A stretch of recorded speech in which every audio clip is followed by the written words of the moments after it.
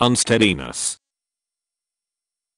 Unsteadiness, loss of one's equilibrium in regard to the environment, often with a feeling of almost falling, or the result of bumping into things. There are many causes for unsteadiness, including problems in the cerebral or cerebellar portions of the brain, the spinal cord, vestibular system, or inner ear. Unsteadiness is medically distinct from dizziness, lightheadedness, and vertigo. See also dizziness, lightheadedness, vertigo,